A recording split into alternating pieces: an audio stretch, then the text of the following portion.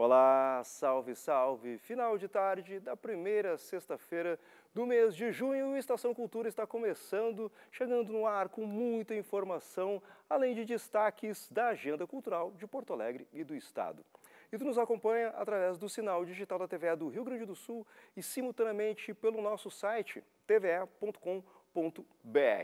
No programa de hoje, a gente fala da terceira edição do Acolhendo a Vizinhança, evento promovido pelo Instituto Zoravia Betiol. Também preparamos uma matéria sobre a exposição de Lara Fuc no Museu do Trabalho. Já a música de hoje fica por conta da cantora e compositora Luiz Helena. Amanhã acontece a terceira edição do Acolhendo a Vizinhança com a Zorávia Betiol. Neste evento, a artista visual recebe os seus vizinhos do Centro Histórico na Casa dos Leões, lugar onde será a futura sede do Instituto Zorávia Betiol. Inclusive, na ocasião, será lançado um livro que faz um resgate dos mais de 100 anos da Casa dos Leões, que é considerada um patrimônio arquitetônico de Porto Alegre. Quem está aqui para falar um pouco mais sobre esse evento, sobre tudo isso, é a própria Zorávia Betiol. Zorávia, seja bem-vinda aqui à Estação Cultura TV mais uma vez. Uh, como vai acontecer, tipo, essa, mais essa edição? Como é que funciona essa edição de Acolhendo a Vizinhança, né? É a vizinhança chegando junto mesmo, né? Tudo bem? Um microfone, por favor, Zorávia. Um prazer estar aqui contigo e com com essa eh, TV que eu adoro há muitos anos, não é? é sim, esse é o terceiro evento, se fez o primeiro, né, para estreitar o relacionamento com os, os, vizinhos e visitantes, fez em, em 2019. Depois o outro em 2022 e esse é o terceiro, porque houve a pandemia, né? É. Então, hum, eu acho bem importante porque esse, e, e, com esse livro da Marina é, Bordim Barbosa, é, foi a tese de, de, de mestrado dela, né? E ela, é, ela depois colocou mais algumas coisas para transformá-lo em livro, né? Então, ela fez um levantamento muito, muito grande de, de, das coisas da história. Então, não só também da história, como começaram os, os, os, os, cinemas de rua, né? O Araújo seja, não, Viana. Não só a própria casa, mas o entorno. O, entorno. então, é, é, isso tá torna muito rico, né? É. E esse, esse projeto é, foi em colaboração da Navisul, Navisual e que o é o Núcleo de Antropologia Visual da URG. Né? Isso, né? é. é. E também vai ter uma série de fotografias que os alunos fizeram, então nós vamos expor também. Né? E vamos vender, assim, o que nós fizemos este ano foi duas miniaturas da cadeira Rei e Rainha de Copas, que, eu, que o pessoal gosta muito, fizemos miniatura, depois tem uma, uma, uma, uma lapiseira pra, que, que também fica com o, o, o celular, né? Cartões postais também da minha obra, esse livro dela que é bem importante, outros livros meus também, e um que eu fiz com o Gilberto Schwartzman, é, a Divina Rima, um, uma, um diálogo com a Divina Comédia do Dante Alighieri. Isso ele fez uma, uma, uma edição reduzida para incentivar as pessoas a lerem a Divina Comédia, e eu fiz 37 ilustrações e também eu tenho as ilustrações é, ampliadas para venda, né? E esse, ele, ele a, a venda do livro é em benefício ao, ao Instituto, né? O Instituto é. que em breve terá um próprio espaço ali como sede, né? Essa casa que é centenária ali no centro, que vocês em breve estarão ocupando, né? É, o, em breve, breve em breve que está difícil. Em processo, é, né? é, sim, porque nós... Um, já está aprovadíssimo o projeto, né? E o, o, outro secretário de Cultura, o Gunter Ax, prometeu que conseguiria 3 milhões e meio para fazer o restauro, né? as adaptações para receber uh, um, um, um, museu de artes visuais. E agora mudou de conservação de, acervo, essas ah, coisas, manutenção de acervo, é, tudo isso precisa de, de, muito nessa de, questão, de, né? de coisas bem específicas. E agora está na mão do Henri Ventura, então ele, ele disse que continuou prometendo, agora vamos ver quando a gente consegue esse dinheiro, porque da, da, da parte dos arquitetos está tudo 100%, né? Precisa então, a, essa parte, e depois precisa a datação do mobiliário. Né? Primeiro a restauração da casa, depois a datação do mobiliário, e, e, e vai ser feita a, a, a, classificação da minha obra, que é muito grande, sabe?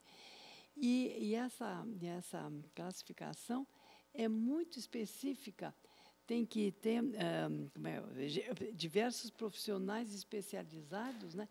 E tem que ser bem detalhado, até se a obra de arte, vamos dizer, uma obra em papel, digamos, né? uma gravura, se tem alguma manchinha, alguma coisa, tem que detalhar. E é, e é importante que seja dessa maneira, né? É, para ser bem profissional. E está tudo muito resguardado essa obra que, que a senhora tem trabalhado há muitos anos, como falou aqui para mim off, quer continuar trabalhando e segue trabalhando, produzindo, né, Soraya? Sim. Não, eu, eu, eu trabalho há 67 anos, que loucura. E, e nunca, sempre, eh, nunca, nunca interrompi nenhum ano, né? E, e, vou, e vou fazer 88 anos em dezembro, que loucura também, né? A produção da Zorava, o pessoal pode conferir um pouco da produção, da vasta produção da Zorava Betiol no Acolhendo a Vizinhança amanhã, no sábado, a partir das 10 horas da manhã até as 18, ali na frente da Casa dos Leões, que fica nas Andradas, número 517. Para quem quiser mais informações, também entrar em comunicação com o Instituto Zoravia Betiol, pode usar o e-mail institutozoraviabetiol.gmail e também dar uma procurada pelas redes sociais para ter mais informações sobre esse evento e também sobre o livro também que está sendo lançado a partir de amanhã, produzido aí para o pessoal do Núcleo de Antropologia Visual da URGS. Zorávia, eu queria agradecer a tua presença aí, um bom evento para ti e até a próxima, certo? Obrigada, eu que agradeço. É, e um bom dia. De bom sempre. Bom, a gente segue o Estação Cultura desta sexta-feira com a música da Luiz Helena, que ela está acompanhada hoje pelo Paulinho Parada no violão e o Maicon Paquetá na percussão. Depois do intervalo, a gente conversa, a gente ouve música agora.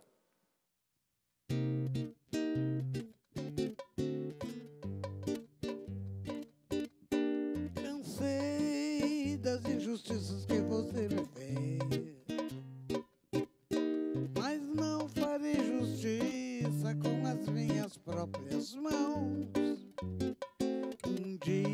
justiça divina irá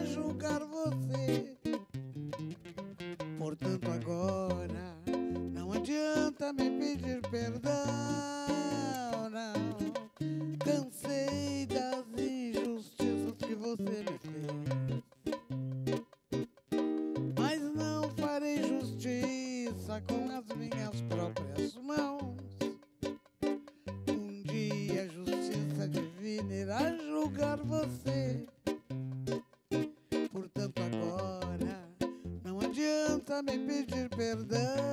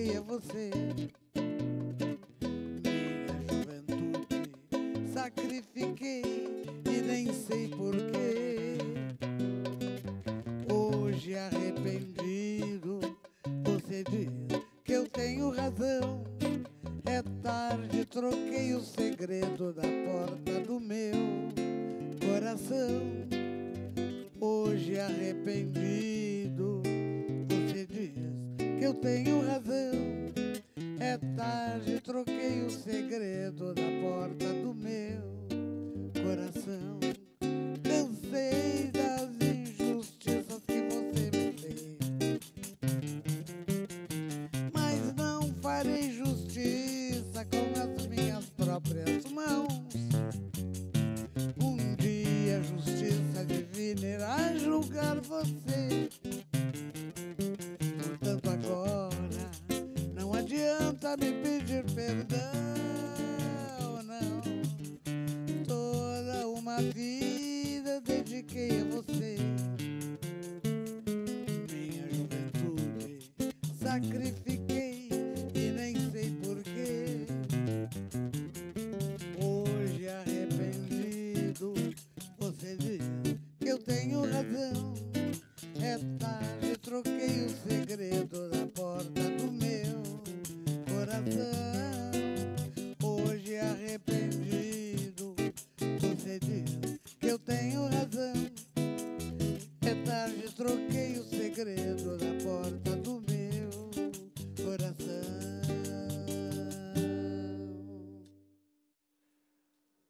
Muito bem, no segundo bloco tem mais música com a Luiz Helena. Agora uma dica de artes visuais. Em uma exposição no Museu do Trabalho, Lara Fuc abre seu caderno para apresentar os elementos fundamentais da sua obra, corpos e palavras. Eu queria lembrar do Meu Corpo, é a primeira mostra individual da artista gaúcha que reside no Rio de Janeiro. Confere aí na matéria da Lívia Guilhermano.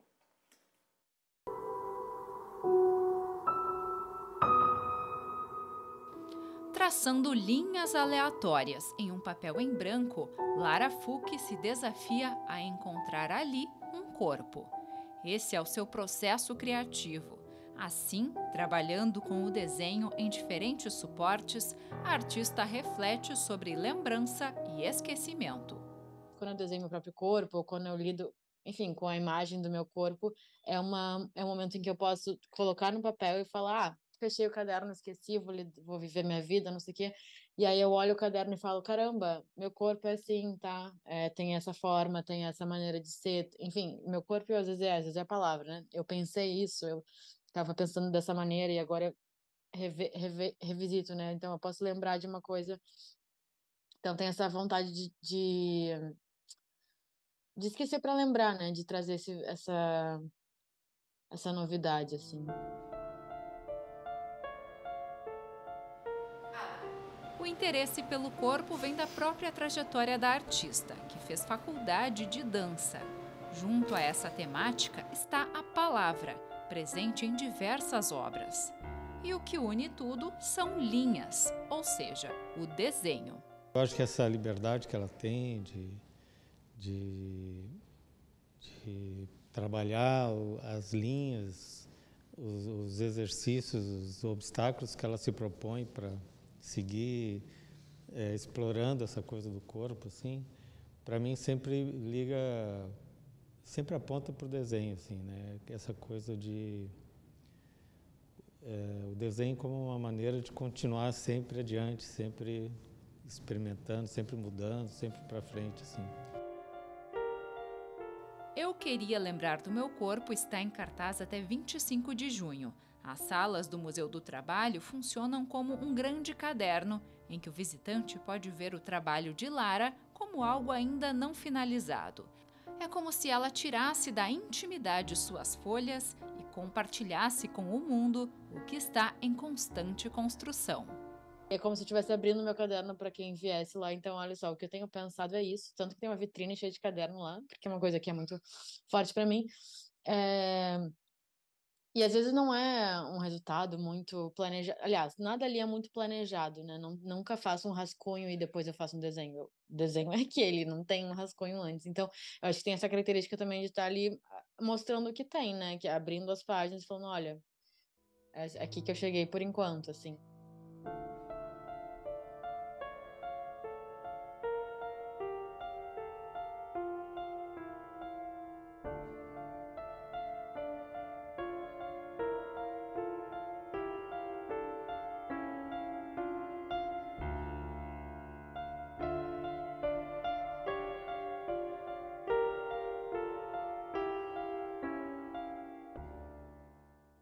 Estação Cultura dessa sexta-feira faz agora um pequeno intervalo e volta rapidinho com a música da cantora e compositora Luiz Helena. É um instante só e a gente já está de volta. Não adianta me pedir perdão.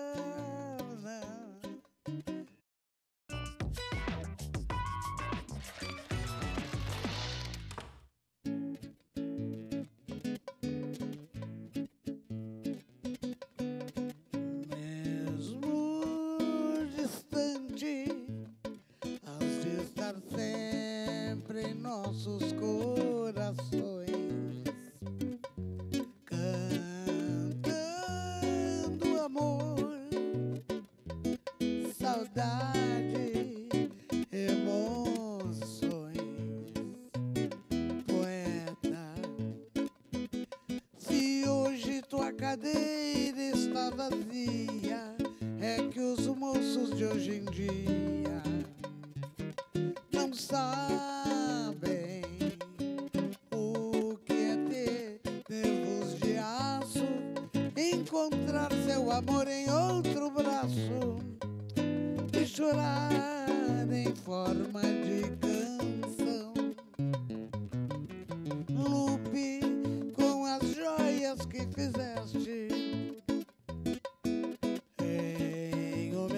homenagem ao amor, dizendo que eram bobagens, mas que na realidade te consagraram como maior compositor,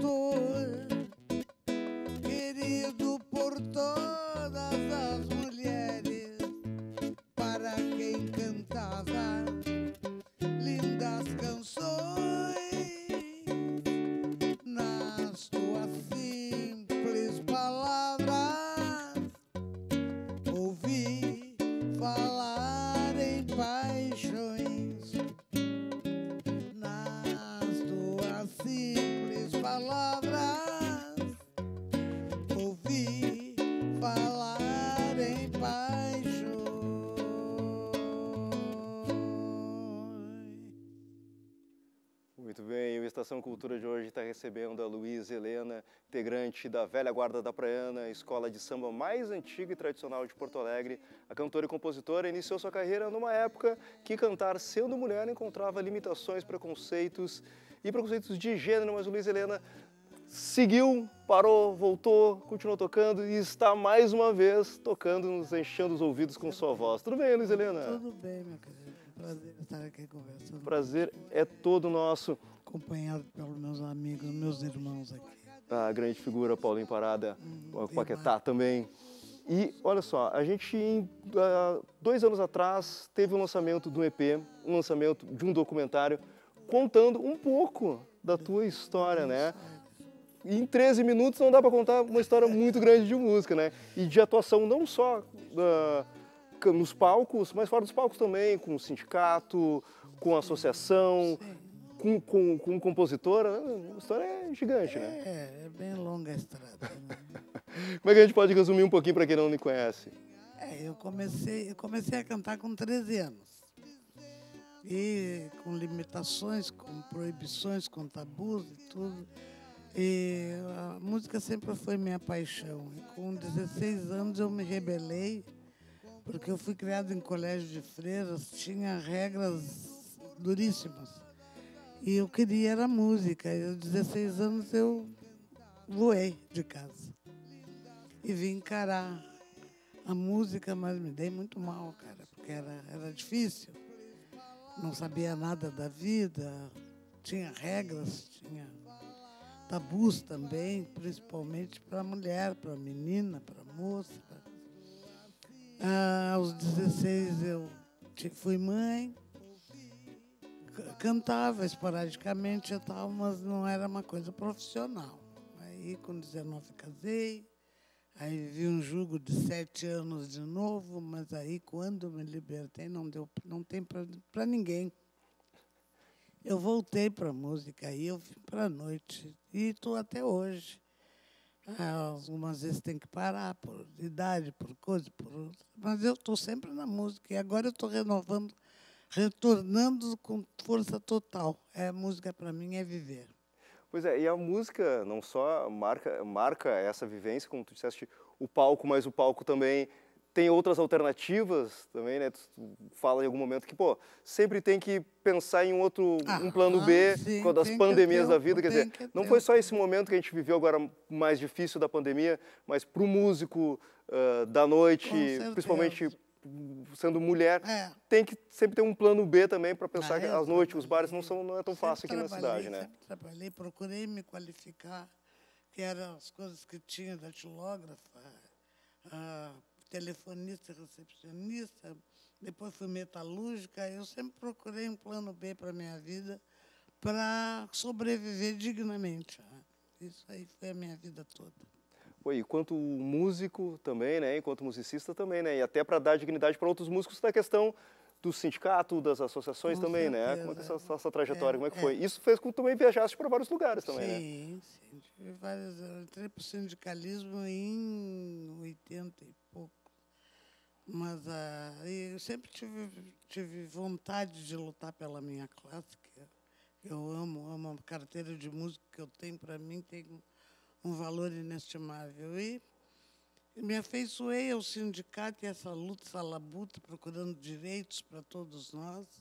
E estou até hoje, hoje com certas restrições, porque a idade não permite, mas eu estou sempre na luta.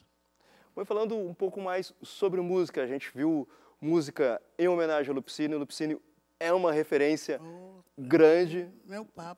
Para ti, né? Queria que falasse um pouco mais sobre Lupe na tua vida e na tua música.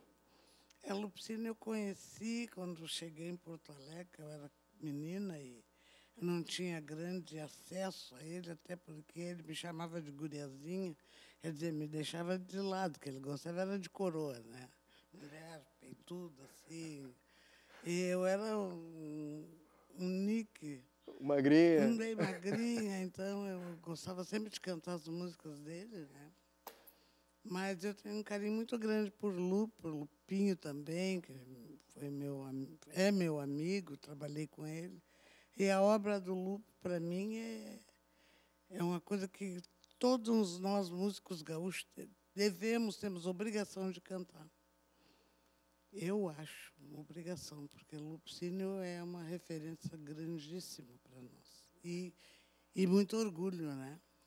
Bom, e aí, uh, uma referência, inclusive, para compor. Mas a composição, justamente falando dessas histórias de amor, a partir da composição, obviamente, tem todo um olhar da onde tu estás enquanto mulher. Então tem muito disso, assim, até uns trocos, umas respostas, é, até para coisas que o próprio Lúcio trazia, né? Não é, não, não, é nem por metáforas, é direto. Eu direto. falo direto para determinada criatura, então aí tu vê o sentimento, né? E, e, e, ao mesmo tempo, a gente fala muito no, no, hoje sobre uh, as mulheres compondo dessa forma, talvez de, de, uma maneira que a gente fala mais sobre o feminismo, não sei o que, se empoderando, mas já já está isso, já está na tua composição e na tua Sim, carreira há bastante tempo, há né? Há bastante tempo, faz anos que eu tenho essas composições guardadinhas. Paulinho é o responsável, ele é o grande culpado de eu tirar da gaveta essas músicas. Vou pedir para o Paulinho falar só um pouquinho, justamente para falar sobre esses dois trabalhos que estão disponíveis nas plataformas e também no YouTube, nas redes, né? Que um deles é um documentário, já que tu já que fizeste, e a gravação desse EP, né, Paulinho? Que foi tu, através de uma pesquisa também que tu descobrisse a Luísa e resolveu aprofundar e colocar um pouco mais desse trabalho dela na vitrine, né? Eu tive a, a honra, o orgulho de, de entrar para a música da URGS, né? Já em 2010 e eu tive interesse inicial em pesquisar a obra do Plauto Cruz. Mas eu fiz uma pergunta no mestrado, né? E, e as outras vozes, as vozes que eu não conheço, né? As vozes mais uh, que para mim na época eram mais invisíveis, né? E as outras vozes. Aí eu fui para o sindicato. Falaram, ó, oh, vai lá que tem um encontro do, uh, dos cobras na quinta. e, e, encontrei lá nos cobras a, a, a dona Luiz Helena, é, que eh, lá tem a Jô de Souza, também o Sabiá, frequentava o sindicato. E encontrei e fiz, o, produzi o documentário Luiz Helena Uma Voz, que ganhou o Prêmio Açorianos de melhor produção e clipe audiovisual. Né? Eu tive a felicidade de ganhar como produtor. E o EP Luiz Helena Uma Voz, é, que está disponível em todas as plataformas virtuais. Tem, a, tem essa promessa bonita né, da Natura Musical da gente produzir esse ano, ainda no segundo semestre de 2023, o álbum Luiz Helena e a Velha Guarda da Praiano. Uma voz e um encontro, né, que resgata, além dessas composições com novos arranjos, as composições dos ícones da Velha Guarda da Praiana. Zé Grande, Zé Gomes, enfim. Então, esse é um material que está por vir ainda, já é um material que a Luiz Helena já está trabalhando agora, né? Já é um novo material, isso, Luiz Helena? Isso. Excelente. Então, o pessoal também pode, como eu falei com o Paulinho ali, procurar nas plataformas o EP, que está disponível, e também o DOC, que está lá no YouTube, o pessoal poder conferir Luiz Helena, uma voz. E essa voz encerra o Estação Cultura desta sexta-feira, encerra o Estação Cultura dessa semana toda aí. E a gente volta na segunda-feira com mais Estação Cultura inédito. Uh, um bom final de semana a todos. A gente fica um pouco mais da voz e da música de Luiz Helena. Não sei se é causa justa ou se é justa causa dispensar seu amor, expulsá-lo de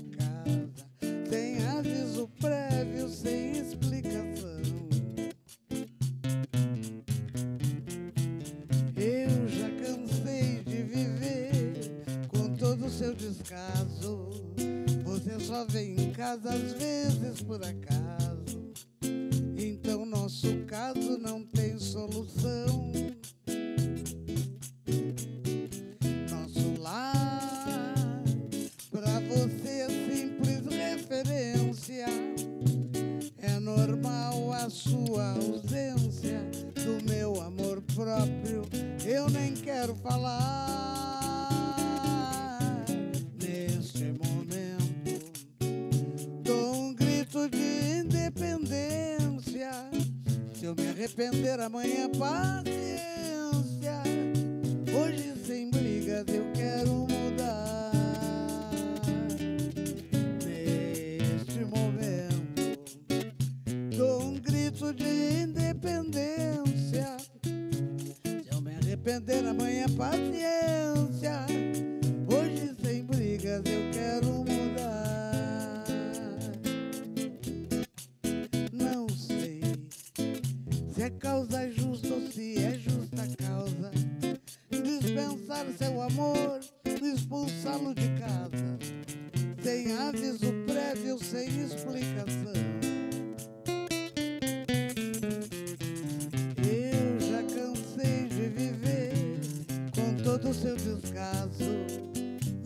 vem em casa às vezes por acaso.